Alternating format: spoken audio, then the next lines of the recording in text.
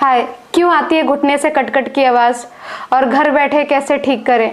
नमस्कार आज की इस वीडियो में हम बात करेंगे किन किन कारणों की वजह से आपके घुटने से कटकट की आवाज़ यानी कि पॉपिंग साउंड आता है।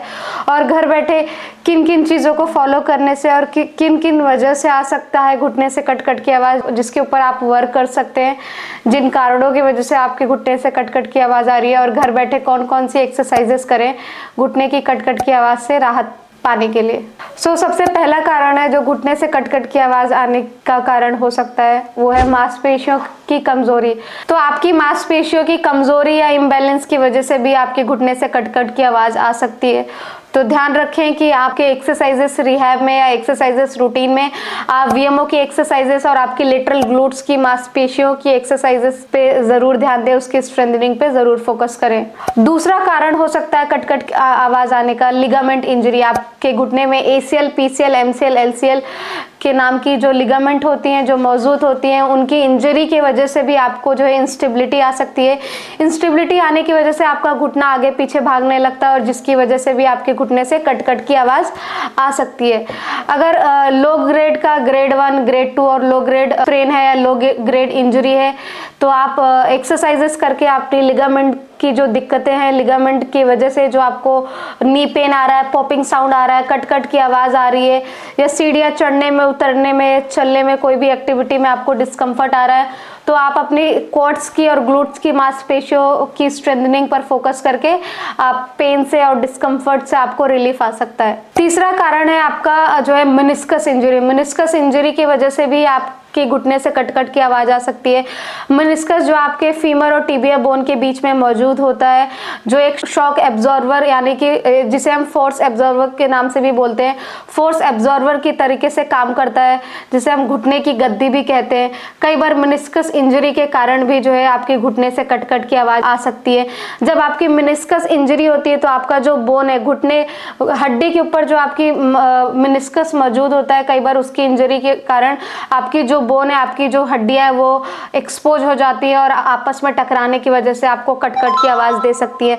अगर आपका मिनिस्कस इंजरी लो ग्रेड है ग्रेड वन और ग्रेड टू है तो आप नॉन ऑपरेटिव यानी कि फिजियोथेरेपी और पीआरपी ट्रीटमेंट के थ्रू आप इसको हील कर सकते हैं और एक्सरसाइज करके मिनिस्कस इंजरी की जो एक्सरसाइजेस हैं उन पर फोकस करके आप जो है कटकट की आवाज़ से पेन से, सीढ़ियाँ चढ़ने में, बैठने में उकड़ू बैठने में या मिनिस्कस इंजरी में आपको लॉकिंग जैसा फील होता है तो आप उससे भी आपको रिलीफ मिल सकता है। चौथा कारण है कार्टिलेज डैमेज कार्टिलेज डैमेज के वजह से भी आपके घुटने से कटकट की आवाज़ आ सकती है।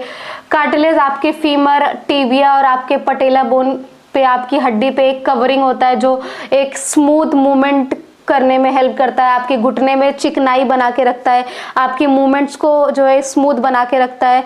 आपकी जो फीमर बोन है, इधर ये जो लेयरिंग होती है कार्टिलेज की लेयरिंग होती है, आपकी जो पटेला है, ये जो मूवमेंट्स है, ये स्मूथली ग्लाइड कर पाते हैं just because of the cartilage तो कई बार अगर आपकी कार्टिलेज डैमेज हो गया है तो आपकी हड्डियाँ आपस में टकराने लग जाती हैं और उसके वजह से भी आपको पॉपिंग और ये क्रिपाइटस और ये कटकट की आवाज़ आपको महसूस होती है। बार बार कार्टिलेज डैमेज की वजह से आपका जो ज्वाइंट है, उधर लूज बॉडीज बन जाती हैं, उसके कारण भी आप को कट कट की आवाज़ आ सकती है। इसी कारण को हम कॉन्ट्रोमलेशिया पटेला कहते हैं, जिसके अलग अलग ग्रेड्स हैं। तो इस कंडीशन में भी अगर कार्टिलेज डैमेज लो ग्रेड का है, कम ग्रेड का है तो आप फिजियोथेरेपी और पीआरपी ट्रीटमेंट के सहारे आप अपनी इस कंडीशन को रिकवर कर सकते हैं। पांचवा कारण है ओस्टियोआर्थराइटिस ओस्टियोआर्थराइटिक एक ऐसा कंडीशन है जो जनरली एज रिलेटेड कंडीशन है। यानी कि आपका डी जनरेशन होने लगता है, आपकी नी जॉइंट में आपका, आपकी जो हड्डियाँ हैं जॉइंट स्पेस है, वो रिड्यूस होने लगता है, आपकी कार्टिलेज डैमेज होने लगती है। आपका जो बोन शेप है उसमें भी डैमेज होने लगता है। साथ ही साथ आपकी मिनिस्कस डैमेज भी होना स्टार्ट कर देते यानी कि जो आपका नी ज्वाइंट है और आपका जो कार्टिलेज है मिनिस्कस है, इन सभी में डीजनरेशन स्टार्ट होने लग जाता है। ऑस्ट्रियोआर्थराइटिस के भी डिफरेंट स्टेजेस हैं। Grade one grade two grade three grade four अलग अलग स्टेज में अलग अलग डैमेज और डीजनरेशन बढ़ता जाता है समय के साथ। और इसकी वजह से भी आपकी हड्डियाँ आपस में टकराने लगती हैं। आप आपको स्क्वाट करने में, उकड़ू बैठने में क्रॉस लेग करने में दिक्कत आ सकती है और आपकी मिनिस्कस और हड्डी की डैमेज की वजह से ये जो कट कट की आवाज़ आती है, आप इसको फिजियोथेरेपी रिहेबिलिटेशन एक्सरसाइजेस के थ्रू आप इसको रिकवर कर सकते हैं। किस ग्रेड का जॉइंट स्पेस रिड्यूस है जॉइंट स्पेस लॉस है, किस लेवल का डैमेज है, ये जानने के लिए आप एक्सरे करवा सकते हैं, आप एमआरआई करा सकते हैं ओस्टियोआर्थराइटिस के कंडीशन में।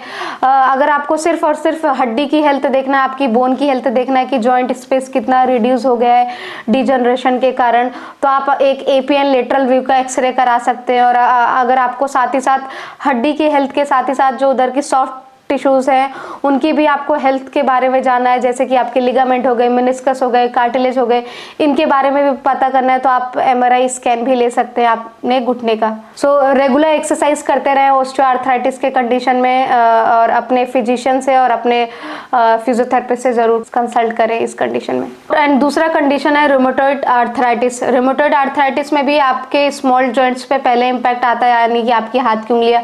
जब सुबह आप सो के उठते हैं तो आपको अकड़न मूवमेंट्स में पेन डिस्कम्फर्ट फील होता है। आपके जो स्मॉल जॉइंट्स है, उसमें स्वेलिंग रहता है इन्फ्लामेशन रहता है, जिसकी वजह से आपको एक अकड़न एंड मूवमेंट में डिस्कम्फर्ट आता है।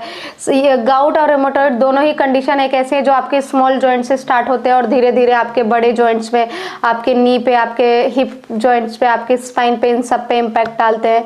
तो रेमोटॉइड आर्थराइटिस और गाउट को पता लगाने के लिए आप जो है यूरिक एसिड ब्लड टेस्ट भी करा सकते हैं और रिमोटोड आर्थराइटिस के लिए आप आर एफ़ फैक्टर और एंटी सीसीपी ब्लड टेस्ट भी करवा सकते हैं। इन सभी कंडीशंस में से भी अगर आपके कोई भी सिम्टम इनसे मिलते हैं, अगर आपको लगता है कि कट कट की आवाज़ आ रही है, इन सभी कारणों में से अगर आपको लगता है कि कोई भी कारण या कोई भी सिम्टम आपके कंडीशन से मैच कर रहा है या ऐसा आपको भी महसूस हो रहा है या ऐसी तकलीफ़ आपको भी हो रही है तो आप अपनी एक्सरे और अपनी एमआरआई हमें व्हाट्सएप कर सकते हैं, अपने हमें शेयर कर सकते हैं और हम और हम आपको सही सलाह देंगे। आपके घुटने से अगर कट कट की आवाज़ आती है तो कौन सी एक्सरसाइजेस घर बैठे आप कर सकते हैं जिससे आपकी ये कट कट की आवाज़ सही हो सकती है? तो इस वीडियो में बने रहें। सो ग्लूट्स आइसोमेट्रिक करने के लिए आपको जो है नी को ऐसे बेंड करना है लेग्स को अपडक करके रखना है। You have to keep your heel together heel को, दोनों हील को एक दूसरे से प्रेस करना है। साथ ही साथ आपको ग्लूट्स की जो मसल्स है, उसको अंदर स्क्वीज करते हुए हील को साथ में प्रेस करते हुए 20 सेकेंड होल्ड करना है आपको इस एक्सरसाइज को। 20 second hold and eight repetition of this exercise relax so quad best S करने के लिए आपको ऐसे सीधा लेटना है। पंजे को अपनी तरफ़ खींचते हुए नी को लॉक करते हुए, पैर को सीधा सीधा ऊपर उठाना है। इस पोजीशन में आपको होल्ड करना है 20 सेकेंड्स आप इस एक्सरसाइज को one K G ankle wait के साथ भी कंटिन्यू कर सकते हैं। So twenty second hold eight repetition of of eight reps of quad best S L R with one K G ankle weight you can also continue again make sure आपका जो leg है वो updated रहे आपके body के साथ line में maintain रहना चाहिए। मल्टी एंगल वॉल सेटअप करने के लिए आपको मीडियम रेजिस्टेंस का एक बैंड पहनना है। हाथ को दीवार पे रखते हुए स्लाइड करते हुए आपको 45 डिग्री के एंगल पे होल्ड करना है। होल्ड बैंड को बाहर की तरफ़ पुश करते हुए shoulder with legs apart maintain करते हुए आपको होल्ड करना है इस पोजीशन पे। 15 टू 20 सेकेंड बैंड को बाहर पुश करते हुए रेजिस्टेंस को मेंटेन करते हुए। 20 सेकेंड्स के बाद आपको एक और डिग्री नीचे आना है 60 डिग्री के आसपास आना है आपको। और 15 टू 20 सेकेंड अगेन होल्ड करना है। बैंड को बाहर पुश करते हुए, आपके जो अपर बैक है, आपकी जो लोअर बैक है, आपका जो ओवरऑल बैक है, वो वॉल से सपोर्टेड रहेगा और फिर स्लाइड करके वापस आना है। अगेन इसी तरीके से आपको इसके एट रेप्स परफॉर्म करने हैं, आठ बार करना है आपको ये एक्सरसाइज वॉल सिटअप बैंडेड एक 45 डिग्री एंगल पे और एक अप्रोक्स 60 डिग्री एंगल पे।